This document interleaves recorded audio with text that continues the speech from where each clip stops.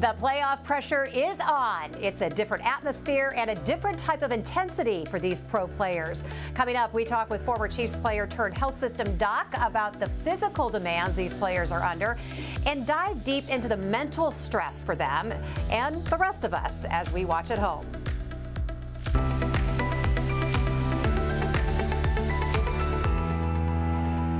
Good morning. It's a very happy Monday here. It's January 23rd. I'm Jessica Lovell. Welcome to the Morning Medical Update and to the Dolph C. Simons Jr. Family Broadcast Studio. It was a weekend full of football. The Kansas City Chiefs kicked off their playoff run with a big thrilling win. So each team and the fan base, they have one goal win the Super Bowl. No pressure, right? Well, we're going to look at the coping methods and handling this type of high anxiety. So get your questions sent in to us on YouTube, Facebook, and the Medical News Network. You can find links to those right here on your screen. Well, it is down to the final four teams fighting for the Super Bowl. Here are the winners from this weekend's four divisional round games. This coming Sunday, January 29th, is the, uh, well, it's Championship Sunday. Your Kansas City Chiefs are going to take on the Cincinnati Bengals at Arrowhead. We will watch the teams battle it out this Sunday to take the titles of AFC and NFC champions. And today we have an incredible, very excited panel with us today. We're going to be joined by uh, Chiefs team physician and sports medicine physician with the health system, Dr. J.P. Darche, who also happens to be a former NFL player himself. How are you? Good morning. Doing great. Good to see you. We also have uh, joining us virtually today a sports psychologist, Dr. Brett Woods, along with Jennifer Medlin. She's a nurse manager um, out at the Sports Medicine and Performance Center here at the health system. And you might recognize her from the sideline. She's a former Chiefs cheerleader. How are you today? Good. How are you? Good to see you. Good to see yeah. you in red today yes. with a big smiling oh, face. Oh, yes. I know you asked me where my red was. I was like, I've got to get on it. Okay, I promise. Next, next, next week. Next week. Dr. Darche, everything is on the line, as we know, for these players. Well, you know, because you've been there.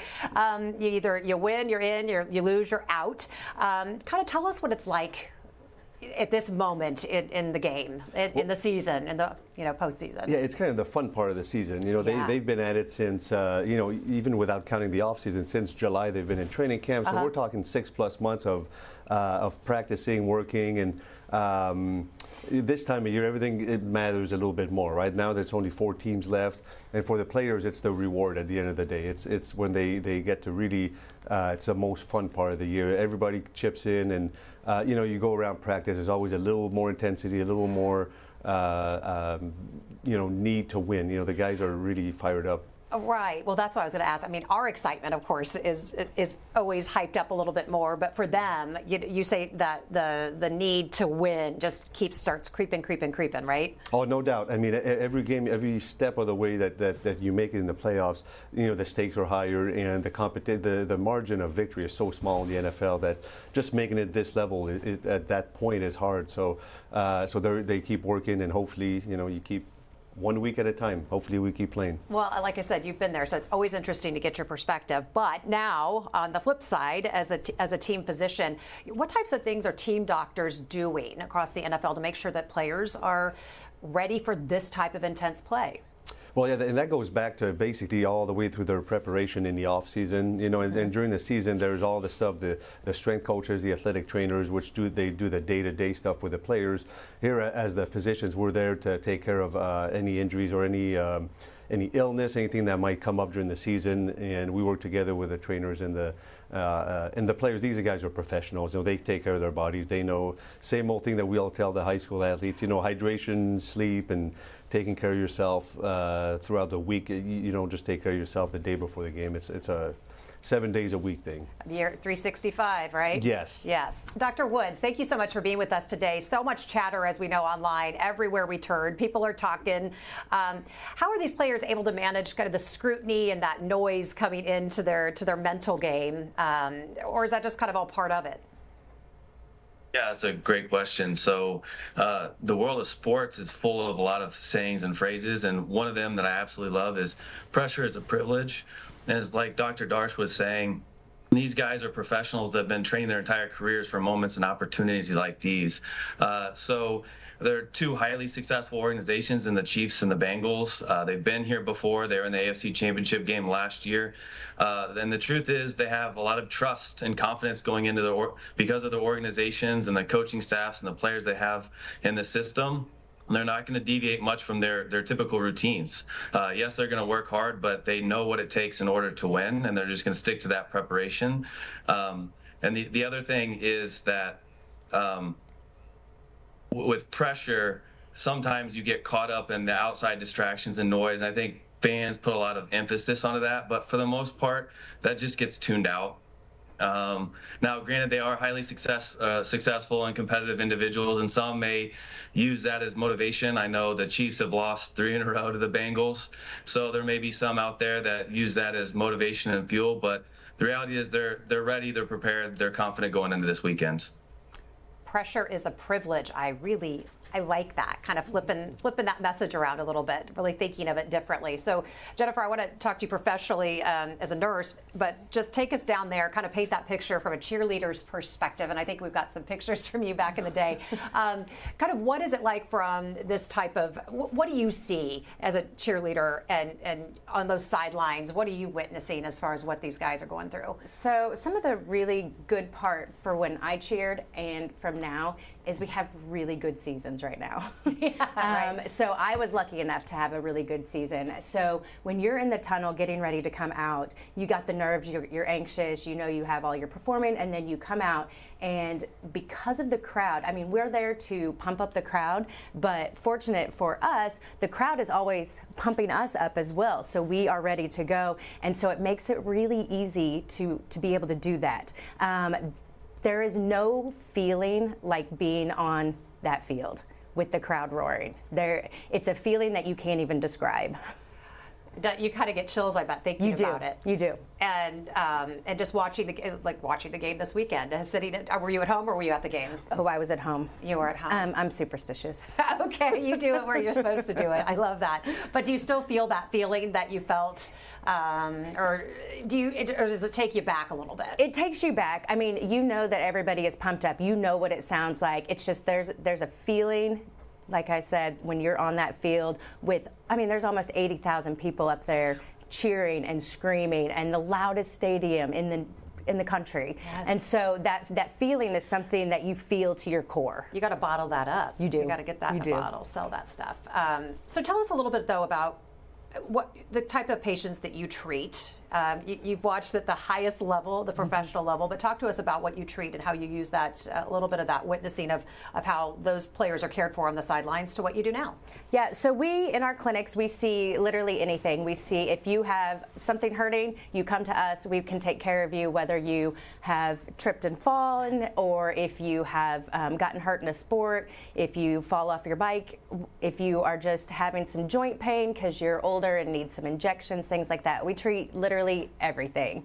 Um, but on the sidelines, what you see is as they go down, of course, we're all gasping at home mm-hmm. or up in the crowd.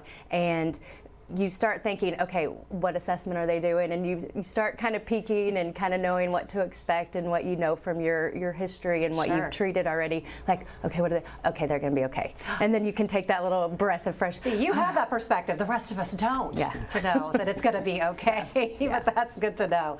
Um, Dr. Woods, I know that means we all have this mental game we're playing uh, when when the Chiefs are out there on the field. But Cowboys quarterback Dak Prescott said that quarterbacks are judged off playoff wins. Of course, we're we're wishing wishing him much better luck next year, perhaps. But um, talk about what it's like knowing that you're in the spotlight. What tools can players use to to stay mentally focused? And of course, how can the rest of us apply it just to the rest of our pressure moments uh, on the day to day? I think it's an interesting example that you you talk about Dak Prescott because this morning he's get a lot of criticism and flack from fans and sport pundits about not performing in high pressure situations. So that's um, yeah, unfortunate for him. He didn't um, end up beating the 49ers uh, yesterday. But that being said, I think there are several tools that athletes um, can use in high pressure moments. One thing is our brain absolutely hates uncertainty. Um, it creates lots of stress and worries and anxieties. And the truth is, professional athletes are really great at creating routines. Routines create a sense of control, a sense of feeling prepared and from that preparation that's where confidence comes from. So one of those tools that athletes often use is visualization or imagery. Uh, so even if you're not physically performing the skill or act just imagine yourself in those high pressure moments and what you're supposed to do and how you're going to respond in the third quarter and the fourth quarter. You're getting lots of reps. And so it feels like it's deja vu when you're kind of in those high pressure moments. So visualization is one of those tools. Um, in the last 10 years, there's been a lot of research coming out supporting mindfulness training. Uh, so, mindfulness training is the act of training your brain to get into the present moment. That's where performance happens. Uh, you want to be where your feet are at in the here and now. And so, I think some athletes struggle with getting stuck on that last play, good or bad. You just scored a touchdown, you just threw an interception. So you have to learn to let go of that and move on and get in the present moment. Other athletes, they struggle with worrying about things that haven't happened yet. So mindfulness training is really that ability to teach your mind how to focus into the important things in the, the present moment. And then this sounds so simplistic, but do not underestimate the power of breathing and breathing in a very specific way. So, diaphragmatic breathing or belly breathing is one of the fastest ways to hack our nervous system, which is our stress response. So, it's no wonder that in those high pressure moments, you often see athletes really focusing on that deep breath. It's not by accident or chance. They really know that diaphragmatic breathing or belly breathing is a great way of kind of managing their energy and, getting to that relaxed, focused state so they can have a clear mind when they're performing. And everything you just said, I was just taking mental note of I can do that. I can do that. I'm not an NFL player, but I can use this in my daily life and my job and at home with my kids. So, um, so those are definitely things to, to, take note of. Dr. Darche, what do you remember from what was it like? Not saying that it was that long ago that you were in the NFL, but what, was it? Is the mental has the mental um, focusing on the mental health and uh, you know is that has that always been as important as maybe what we think of it as today? Has that been a part of it, or was it always physical? Physical. Oh, it's always, I mean, the mental part of it is huge. It's uh, for a professional athlete or any kind of athletes, for high school athletes, middle, like youth athletes. Mm-hmm. Um, but was it talked about as much back then? I well, mean, the way that we t- seems like we're talking about it more, but is it is it really present? I think it wasn't talked about it nearly as much as mm-hmm. it is today. Uh, the, the part of, you know, just generally mental health. You know, there's things we see, for example, like when athletes uh, are done, you know, their careers end, uh, whatever, if if it ends after high school, after college, or especially after the pros, how you know that's the mental part of that is a difficult thing. You know, a lot of these players, you lose your identity, you lose the, the thing that you've dedicated your whole life to, and there's a lot of mental health issues that accompany that. Uh, but you know, and that part is something that really wasn't talked about as much back yeah. then. Uh, you see more of it now, but you know, the actual like performance kind of mental health part of it is. Um, I think that's something that players have always been aware of that. Something it's to be aware been, of, right? Absolutely. Any thoughts on that, Jennifer? No, I agree. I think yeah back back in the day, um, it was more of being mentally prepared for the game and being in the moment and being in that zone to perform at your peak. But then now there is more awareness about it. Um, people, you know, coming to making sure they get treatment, make sure that it's recognized earlier, so that they can get the help as soon as they can uh, something I noticed, I was watching videos uh, yesterday, and that video of, of Trevor Lawrence uh, in the tunnel standing there did you see that? Mm-hmm, Where he turned and waited for every single player to come off, and there were hugs and you know guys with their heads hung low, and I felt like, uh, and then he just actually stood there for a moment to make sure all the guys were in. I want to make sure all my people are in, and it was it was really a touching moment, and I felt like Dr. Woods, I wanted to ask you, what is it? What's that mean when you when you have that kind of camaraderie? You know, for them to go out and be able to do it next year. Um, it seems like you know the start of next season seems like so far away when you're just now walking off the field with a loss. But but is there a real, true, genuine genuine sense of loss for these guys, and they, they do kind of need that hug, if you will, and to know that, you know, there's always next year? That's a, a great question. I want to go back to what Dr. Darche was saying earlier. You spent months, six months plus, training and preparing for these moments. It's really hard to put into words the type of bonds and connections these players um, have over the course of a season. And the, the reality is that it's not going to be the same team next year. Guys are going to be traded. Some guys are going to retire. So there is that feeling of loss. This was a one-time opportunity with these particular individuals to work towards their goals. So there is a bit of sense of loss. Um, but as a professional athletes, you quickly have to make that recovery. But in that moment, I think that was a great with with Trevor Lawrence, a, a great demonstration of, of leadership. Mm-hmm, for sure. Uh, I want to ask about, uh, just talk to us about the Damar Hamlin injury that that uh, the players had to experience watching. Clearly, very traumatizing for them, traumatizing for folks at home, not quite understanding what's going on on the field. But kind of um, take us back out there and tell us kind of what that's like when when they're having to see something like that. Yeah, so I, you know, watching professional sports, you frequently see people getting injured, but I think for the audience at large and the players on the field, this just had a different feel to it. You saw grown men with tears. You saw the shock, the dismay, the the sadness, the fear, the anxiety in real time. And I think a lot of the broadcasters after the fact just really didn't know quite what to say because it was a first for a lot of us with this type of medical emergency. Um, in the, the days following when they were having the press conferences with the Bills, uh, the Bills players talked very highly of the head coach um, and what he did to gather the guys and rally the guys. Because one of the ways of dealing with traumatic stress, really the way of healing through traumatic stress, is through connection, connecting to your own feelings and being able to process what you just went through and connecting with others, leaning on loved ones. And from what I could hear and, and see in, in those press conferences, the coaching staffs did a tremendous job of giving guys space to process what they went through. And uh, the head coach also recognized that there's individual differences in how we process trauma. People process it in different ways and then on different time timelines. So um, I think he was very uh, adept at giving them space just to talk openly, to hug. And some guys, they really relied on their faith and prayer. Some, they needed to verbalize what they're saying. Some maybe needed to write it out, or others, they just needed to lean on their loved ones. So I, I think the coaching staff did a tremendous job. And the other part of it is each NFL organization is going to have a dedicated mental health provider. So for those athletes who may have been struggling and it was interfering with their day to day, they had some additional resources and help.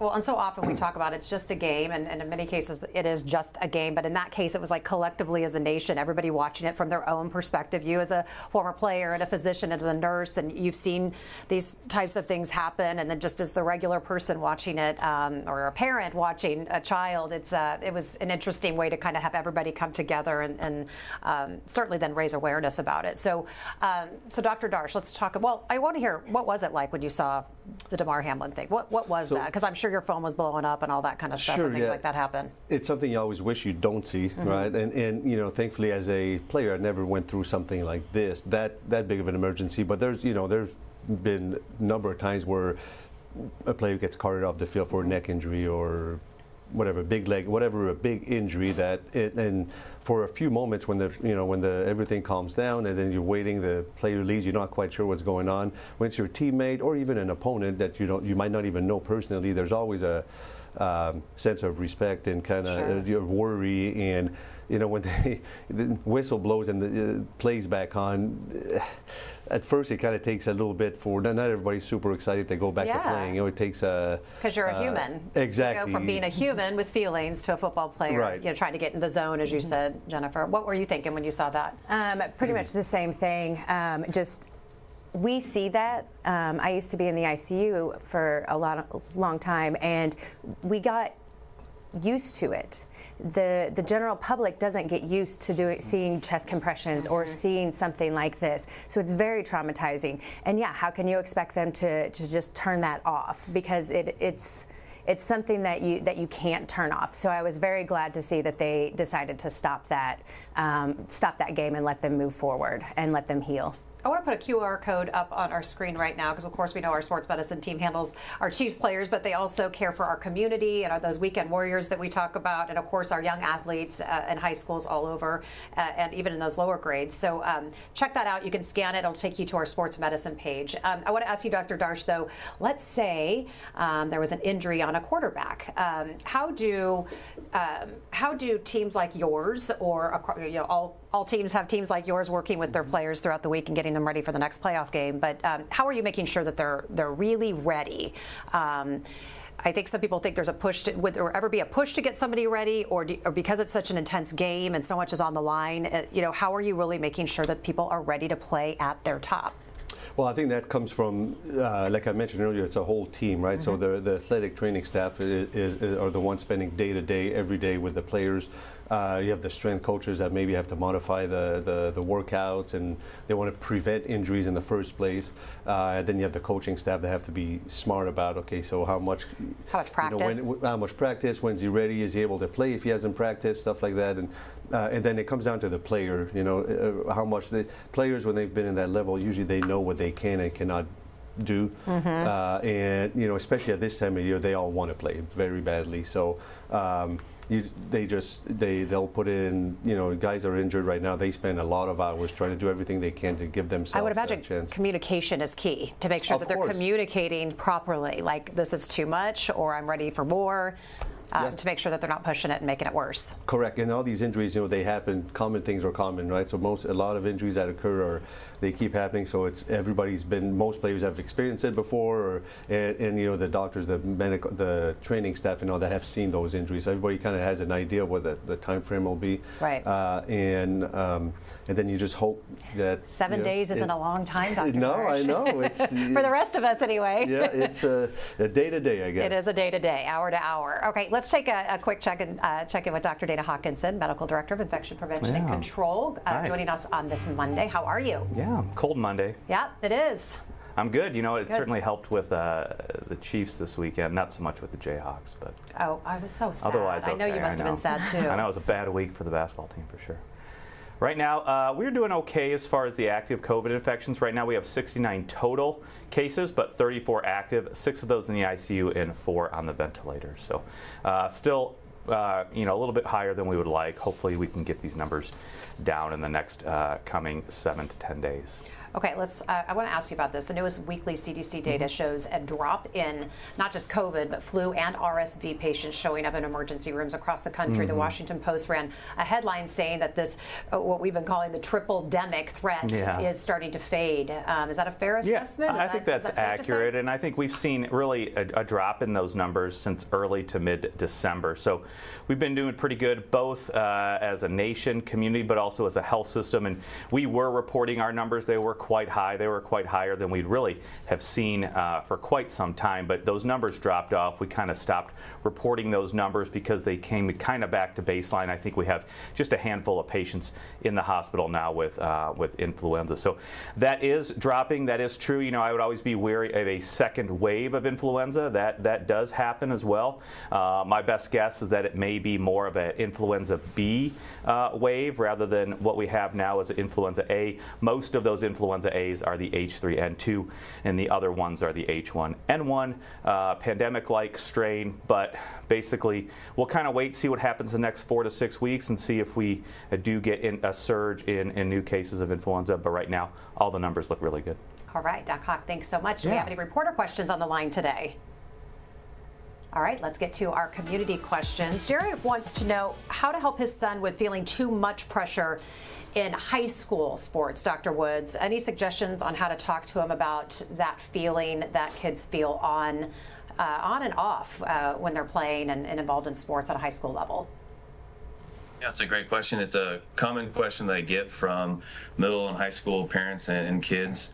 And so, you know, in the sports psych world, we like to ask a ton of questions. And one of the questions that we ask of youth and adolescent athletes is what are the reasons why you play in sport? And the most common responses that we get is to have fun, to meet new people and make friends, and to learn new skills. So I always come at it from that framework. So whenever an athlete's, you know, having a lot of pressure, I start with the question of what's getting in the way of having fun.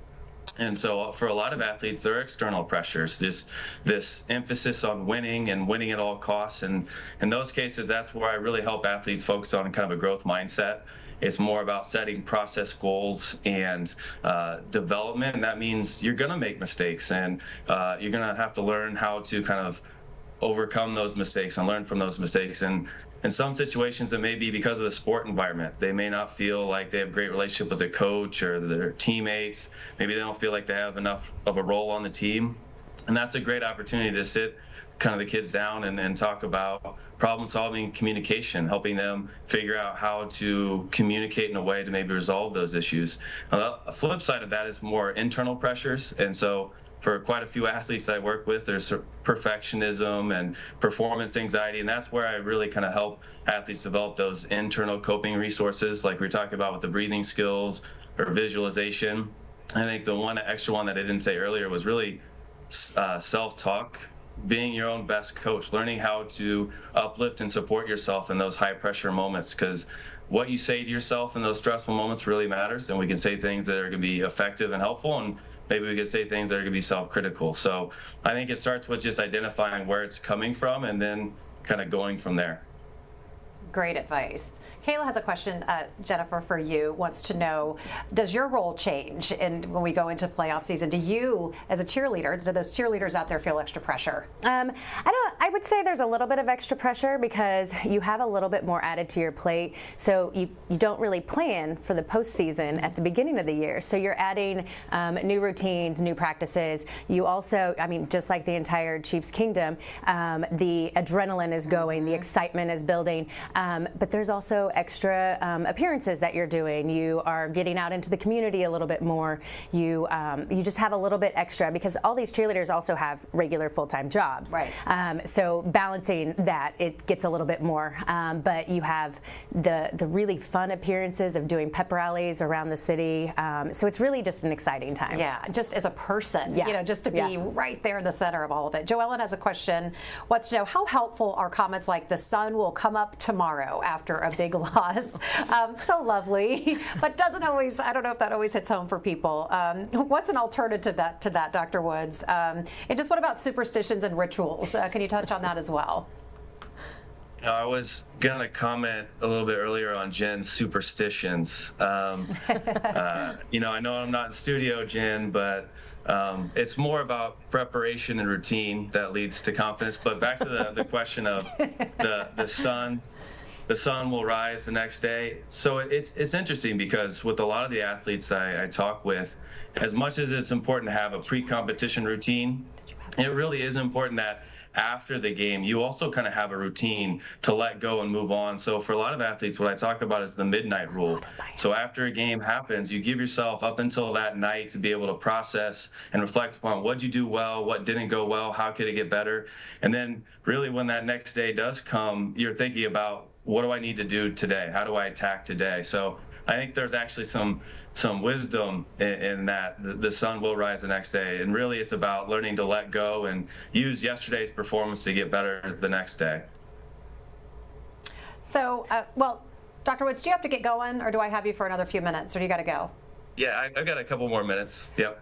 Okay, um, so here's one. So Kathy says, she goes, I worry about Patrick and, and the team. Uh, she worries about his injury, as we all do, and of course his mental health, like letting fans down. Don't think he's letting any fans down, but um, he's not responsible for the whole team. He's amazing, but I do worry.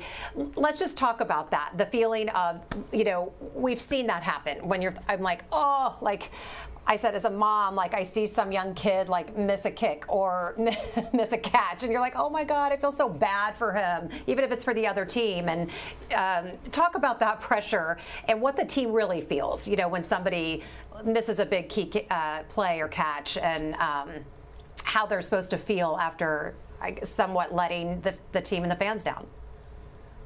Yeah, I, th- I think that's a really good question as well. So Patrick Mahomes is obviously the face of this organization, and he's taking the Chiefs to, to new heights. And I, I, was seeing some statistics about how many playoff wins they had prior to Patrick Mahomes versus with Patrick Mahomes. So obviously, he's an elite level competitor. He's an incredible talent, and I think the team really rallies around him. He's obviously shown very strong leadership skills. That being said, it's a 53 man roster. You've got great coaches in that organization. So, like we were talking earlier, it's about a sense of, of community, of rallying around one another. And, and you know, Patrick is it wants to be out there and to, he's going to do whatever it takes to, to fight for his team. But in the same token, I think the guys are going to rally around him. So it, it is hard and there's a lot of emotions connected to potentially missing time or missing out on plays. But as you saw with Chad Henne, he came in as a true professional, led the team on the a record-setting 98-yard drive. He was ready and prepared for that moment, uh, which he'd done in a prior playoff a few years ago. So uh, I'm really confident in this group, and I think it starts just with the organization and having a winning mindset. I was so happy for Henne. That made me so happy. Weren't you guys excited? I always feel like when somebody gets that moment and they're like, yes, I love that. And to hear uh, the Henne thing is possible again. Anything, really... anything is possible. that is that was fun. That's fantastic. A uh, couple questions. Uh, Carrie wants to know how many doctors are on the sidelines at, at a Chiefs game at any one time, and what, what are so, the different specialties? Yeah, there's quite a few, uh, and you saw that when the thing happened in Buffalo yes. a few weeks ago. How important that is. So uh, you know, every team we always have the team doctor there day to day with the with the with the team. So you'll have the two orthopedic surgeons, we'll have two medical doctors, and also every game there's a, there's a two um, airway physicians we call them. They're usually emergency medicine specialists that, in case something happens, where just like happened in Buffalo, where you have to resuscitate a player, like a uh, traveling ER emergency so, room? Like, I mean, everyone so, well, is there for the most part, right? Pretty much, right? And that, that's kind of mandated by the league. So yeah. each sideline has to have an uh, airway doctor, and um, uh, so and that can come in. You know, you rarely need them. Hopefully, you never need them. But that, like but that's saw, a perfect example of why there are so many there on the sideline. Exactly, and that's why you know we, we practice our emergency action planning a few times a year, and this mm-hmm. is very like when this happened, they knew what to do. That's because that's been planned, right? Sure and, and, I would like to think that if it were ever to happen on our sideline, we'd be we'd be ready to go yeah, as well. Yeah, a little yeah. peace of mind there for sure. Uh, and then just uh, lastly, Dr. Darche, Nick wants to know if somebody's injured, are there are there certain NFL guidelines as to when they're ready to play, or is that something you just have to make uh, as a you determine on your own as a team with the player?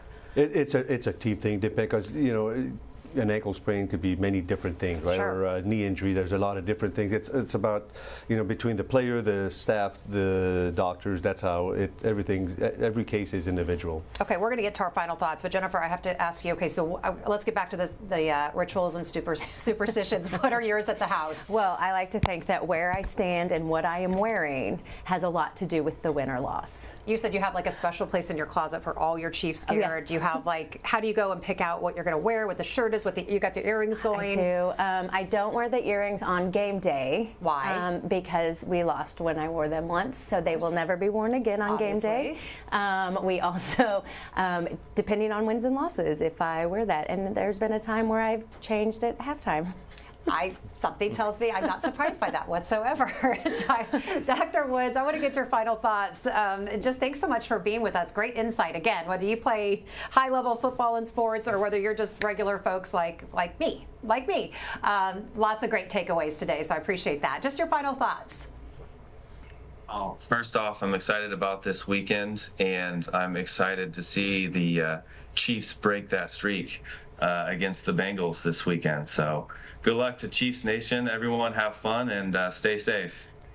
Love it. Thank you so much, Dr. Woods. We'll see you soon. Thank you. Jennifer, your final thoughts today. You know, there's a lot of amazing cheerleaders on that sideline, mm-hmm. but it takes all of the Chiefs Kingdom cheering everybody on to get everybody pumped up and going. All right. Big team effort. Yeah. Dr. Darche, final thoughts. All I'll say is go Chiefs. Go Chiefs. All right. You're so such a simple man. Simple. Love about simple. you. Always good to see you. Thank you all for being here on the Monday. Dr. Hawkinson, final thoughts. Yeah, just thank you to our guests. You know, I think that, you know, talking about this topic right now with the Chiefs, that's just a microcosm of really what happens uh, in the health system with just so many contributors and collaborators uh, working toward the goal of looking to get that patient better, get that patient feeling better get them home and be healthy. Mm-hmm. Well said. Doc Hawk, thanks so much. And thank you all for being with us today. You can catch our updates anytime by logging back onto YouTube, Facebook, and Twitter. Tomorrow is another encore presentation of the Morning Medical Update. And then Wednesday, we are back live with open mics with Dr. Stites. Have a great day.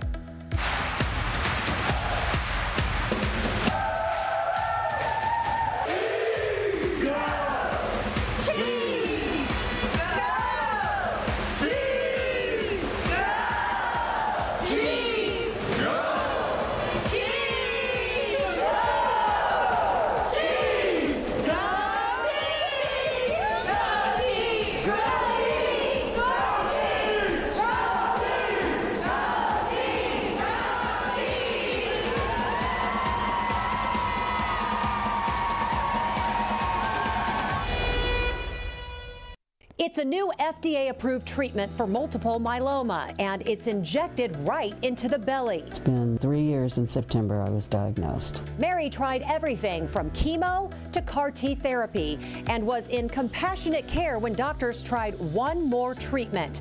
On the next Open Mics with Dr. Stites, meet Mary and learn more about the monoclonal antibody giving Mary miraculous results. Subscribe to our morning medical update and open mics with Dr. Stites podcast. Now, everywhere podcasts are available.